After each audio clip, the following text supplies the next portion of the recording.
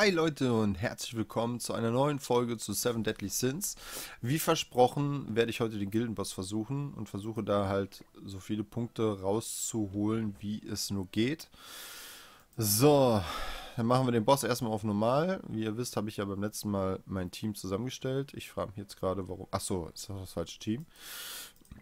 So, hier haben wir den Gilden. Das Gildenboss-Team.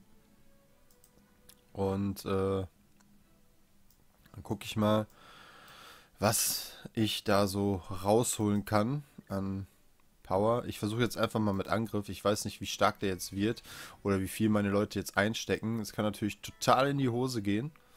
Aber ich mache jetzt erstmal auf Angriff, dass ich hier ein bisschen mehr Angriff habe.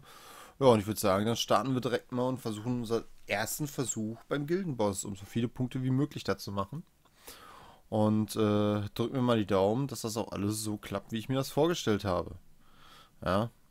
Das wird nämlich alles nicht so einfach, ja, den Gildenboss platt zu machen und dabei eine gewisse Punktzahl zu erreichen. Weil äh, man sollte in der Woche mindestens 1200 Punkte erreichen. Das ist auf jeden Fall das Ziel. Das ist der Gildenboss. Ich habe auf jeden Fall schon mal mehr Punkte als er. Das ist schon mal sehr vorteilhaft. Und jetzt muss ich natürlich ein bisschen aufpassen. Ich kenne jetzt die Fähigkeiten von dem einen hier nicht so. So, was haben wir denn hier alles für Fähigkeiten? So, was haben wir? Fügt den Schaden in Höhe von 72 an alle Feinde. Was ist das hier? Erhöht angriffsbezogene Werte von allen Verbündeten. 15%. Ja, das sollte ich natürlich so hoch wie möglich haben. Dann brauche ich hier natürlich den Eiszauber auf maximale Stufe. Das ist auch sehr wichtig. Dann brauche ich von Gopher natürlich die, um Fertigkeiten zu erhöhen. Das ist natürlich auch sehr wichtig.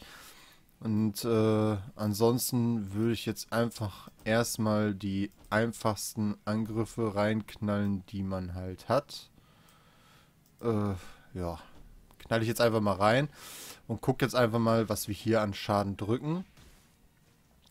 Soweit es machbar ist.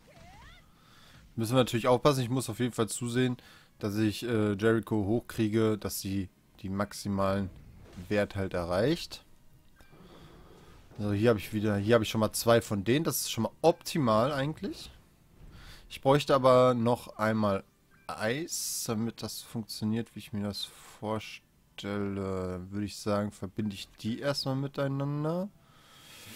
Die hier verbinde ich auch miteinander. Jetzt brauche ich noch einmal Eis, damit das auch alles so funktioniert. Jetzt fehlt natürlich der Angriff von Jericho. Das ist natürlich ein bisschen doof. Aber ich denke mal, das kriegen wir schon alles irgendwie auf die Kette. Da habe ich den zweiten Eiszauber. Das ist schon mal sehr wichtig. Bin ich mal gespannt, ob das auch alles so klappt, wie ich mir das vorstelle. Das ist natürlich alles so ein bisschen jetzt versuchsmäßig und wir haben auch schon ein kleines Problem, weil der geht nämlich gleich in die Ulti.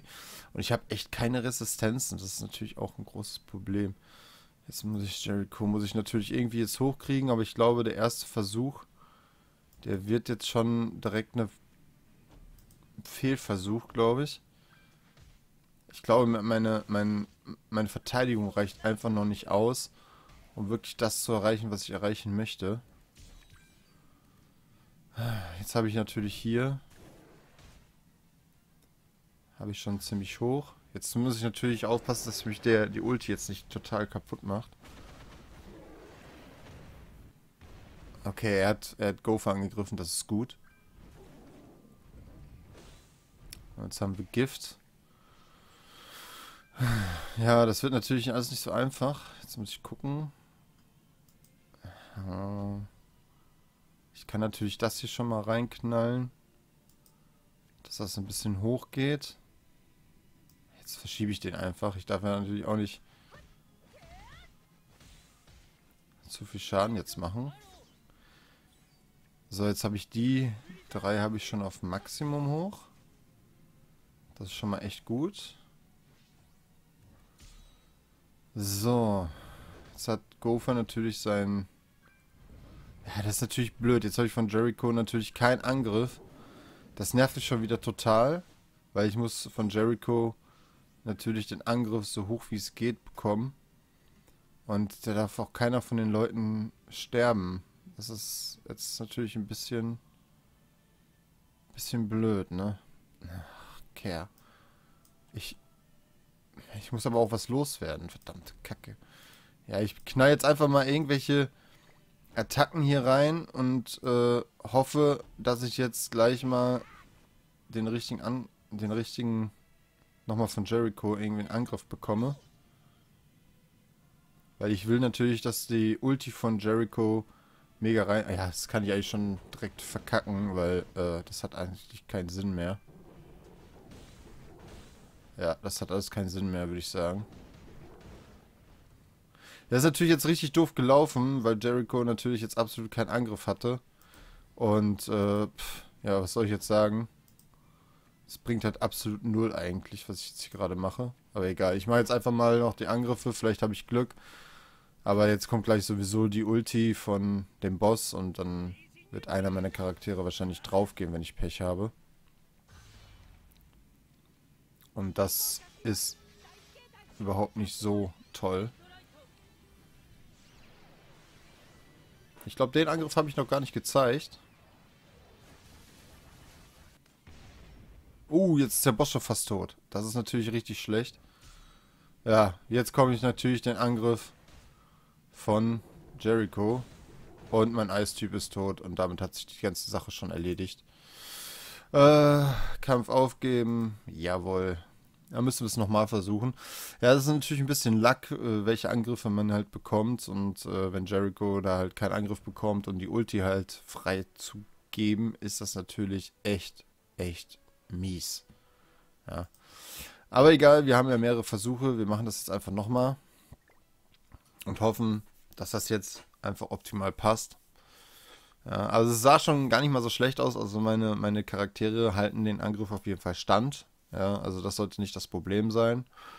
Ja, also soweit ist das noch nicht so schlimm. Man kann natürlich noch einiges verbessern am Team. Da brauche ich noch eine Resistenz. Äh, Klamotten, ne, damit äh, Gopher keinen Schaden kriegt. Dann äh, erhöht er natürlich auch nochmal den Angriff ohne Ende. Ist auch sehr wichtig. Und jetzt müssen wir einfach mal hoffen, dass wir hier einfach die richtigen Karten bekommen. Das ist ehrlich. So, Jericho muss natürlich als erstes, das muss, das muss sitzen. Dann packen wir direkt mal ihre beiden Angriffe rein. Machen wir seinen Angriff noch da rein und von ihm. Jericho ist natürlich am wichtigsten. Die muss echt zusehen, dass sie schneller ihre Ulti fertig kriegt. Und dann hoffe ich, dass das alles so funktioniert. Ah, gut. Jericho ist nochmal ein Angriff da.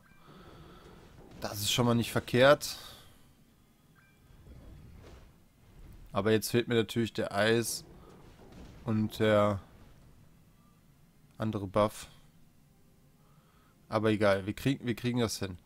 So, jetzt habe ich hier nochmal die Ulti hochgezogen. Jericho braucht auch noch den Angriff. So. So, wir hoffen, dass das jetzt alles schnell vonstatten geht. Ich brauche jetzt einmal den Eiszauber, diesen anderen Buff brauche ich nochmal und am besten nochmal Jericho. Ah, war ja klar. Okay, einen haben wir.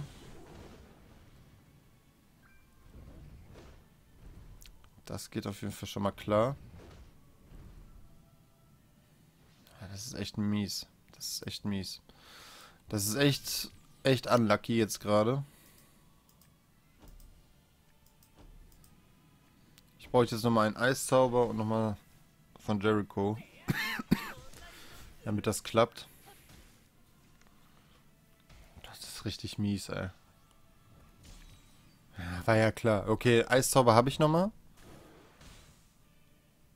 Da muss ich jetzt echt Glück haben. Er greift Grover an. Das ist schon mal gut. Wenn ich das richtig gesehen habe. Jawohl. Okay. Das juckt ihn gar nicht. Gott sei Dank. Ja, Gift, Gift, Gift. Ja, weiß ich, weiß ich, weiß ich. So, dann machen wir jetzt erstmal Eis hoch. Äh, dann können wir hier schon mal den Buff machen. Den können wir reinmachen. Und den hier auch. So, Jericho. Was ist los mit dir? Warum kriegst du keine Angriffe? Das nervt mich gerade tierisch. Das ist echt scheiße. Vor allem, wenn die jetzt gleich stirbt. Na toll, jetzt kriegst du einen Angriff. Das reicht aber nicht. Das ist nur ein Stern. Wir brauchen zwei Sterne. Von jedem anderen habe ich die Ulti, nur von Jericho nicht. Der, der wichtig ist. Das ist echt nervig. So, machen wir den, machen wir den, ähm, machen wir den. Und den verschieben wir einfach mal und hoffen jetzt, dass Jericho nochmal den Angriff bekommt. Damit wir nochmal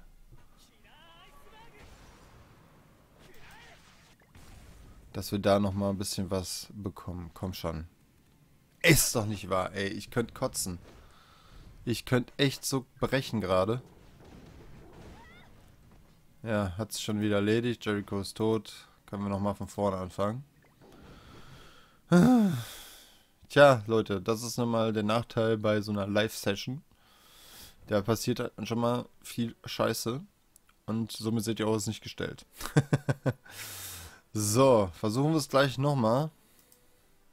Wir müssen ja 1200 Punkte erreichen. Und das heißt, wir müssen so viel Damage, wie es nur geht, bei dem Boss machen.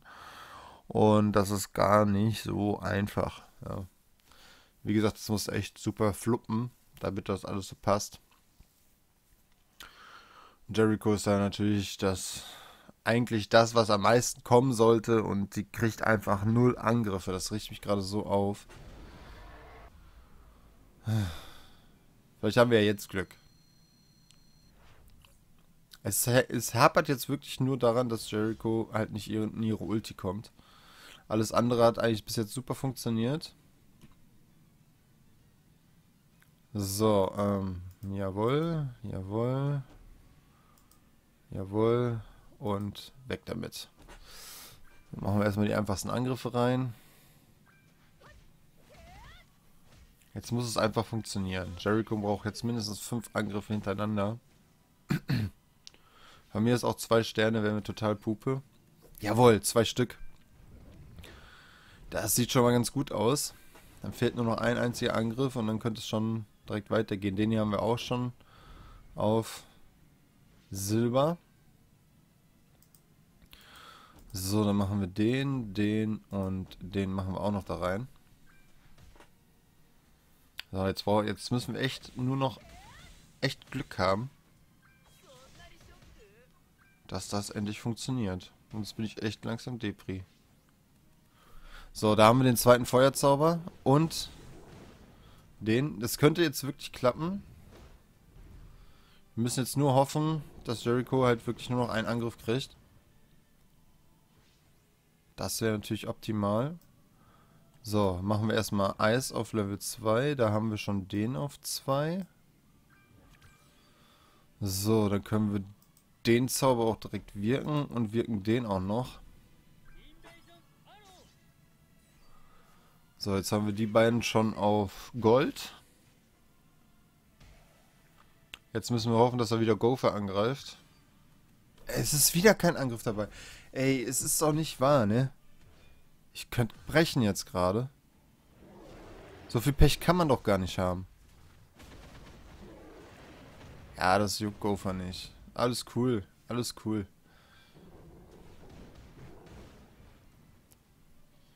Jetzt habe ich hier zigtausend von denen hier, die mir überhaupt nichts bringen. Ja, machen wir, keine Ahnung, auf ihn hier. So, machen wir den auch noch raus. So, jetzt muss Jericho echt einen Angriff bekommen, sonst war es das wieder für diese Runde.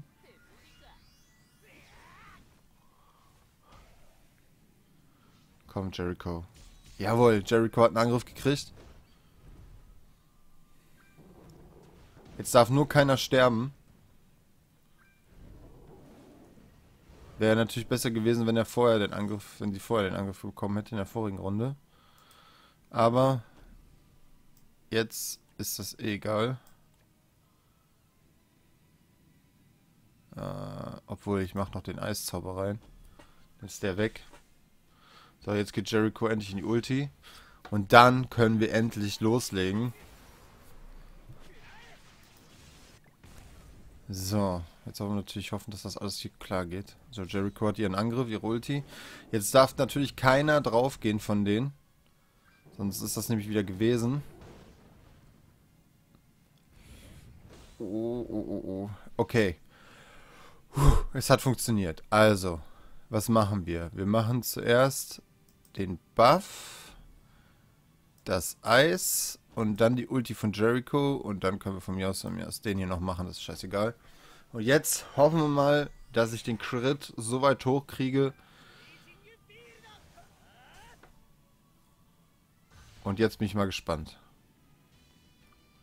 Jetzt kommt es halt wirklich drauf an, wie viel Schaden wir machen.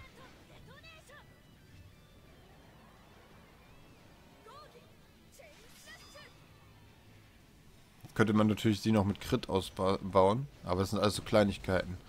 239.000, das ist natürlich nicht das, was ich erwartet habe. Das ist viel zu wenig. Das ist viel zu wenig. Das sind 284 Punkte. Ich habe gehofft, dass da viel mehr bei rumkommt. Das ist jetzt blöd. Das ist echt blöd. Ich habe echt gedacht, da würde mehr bei rumkommen. Aber gut, das kann man natürlich vorher nicht wissen. Das heißt, ich muss noch einiges tun an meinen Chars, damit das alles so funktioniert, wie ich mir das vorstelle. ja, ich habe jetzt echt gedacht, da kommt ein bisschen höheren Power bei raus und irgendwie kam da jetzt gar nichts bei raus. Das ist jetzt echt, echt doof gelaufen. Aber naja, egal.